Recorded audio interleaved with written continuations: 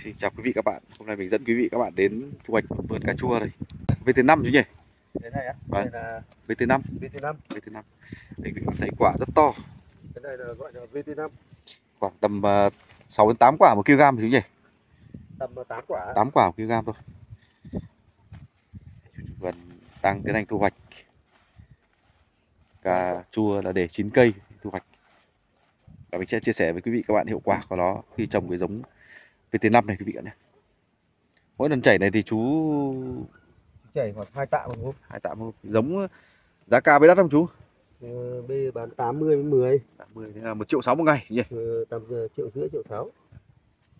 Ờ, cũng có hôm nó lên cũng có hôm nó xuống chứ nhỉ Hả? cũng có hôm nó lên hơn và cũng có Ờ, hôm cũng có hôm là nó lên tùy theo cái thị trường chứ. Vâng. Nhìn- nhìn mã quả đẹp thế chứ nhỉ Dòng này của nó đẹp đấy. nhìn như hồng. Cái cà của nó đẹp lắm. Thế là chú ba sào này chú thu được mấy mấy tháng rồi ạ Thu mấy được hơn tháng, tháng là ngày nào khoảng, tiến hành à, ờ, thu hoạch hơn 2 tấn rồi.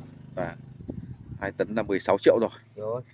còn có thể là hơn nhưng cũng Bây giờ thì bắt đầu là nó vào uh, rộ rồi, à, tính trung bình trung bình đấy. là cứ tầm khoảng ờ, tạ rưỡi đến hai tạ một sào một ngày Rồi.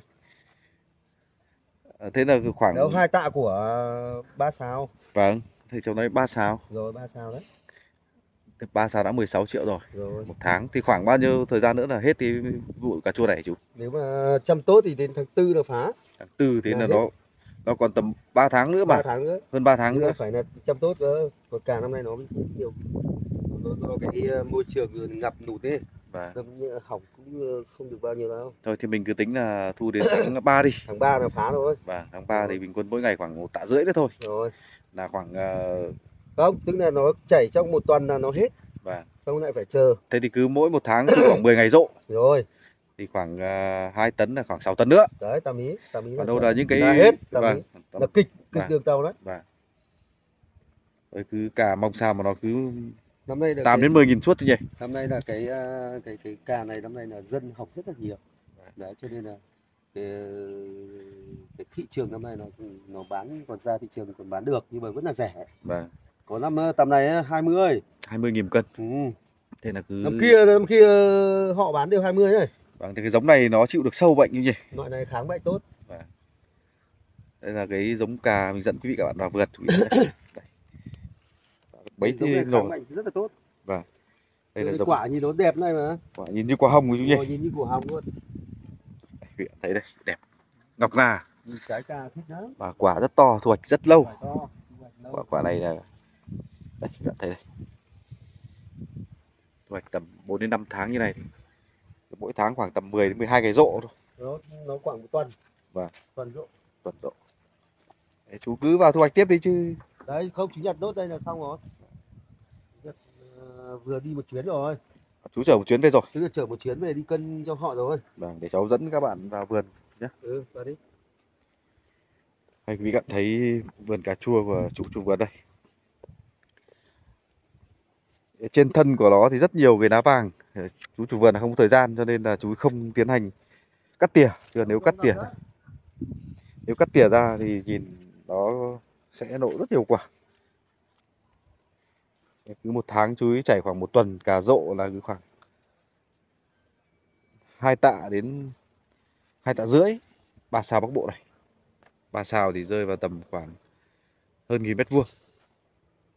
360 mét, một sáu bắc bộ này. Và cây cà này thì nó vẫn nên được tránh và tiếp tục có hoa này đây là mình giới thiệu với quý vị các bạn, đây là cái giống cà VT5 chống chịu sâu bệnh hại rất là hiệu quả.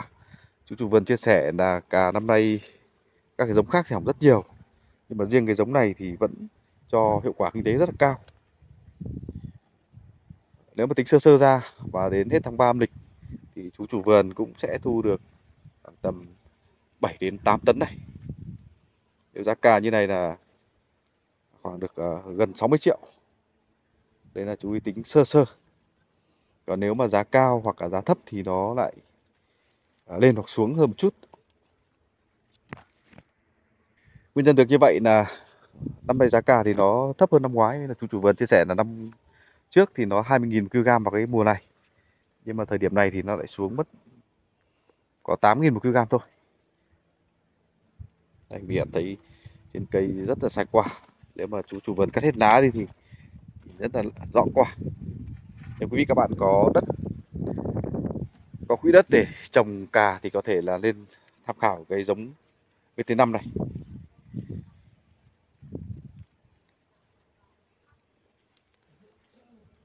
Các bạn thấy đây.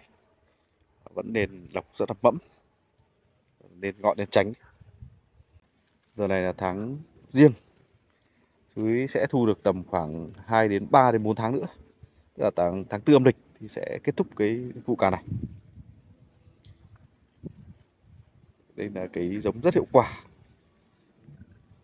Do cái giống này nó chống chịu được cái bệnh héo xanh chết cành.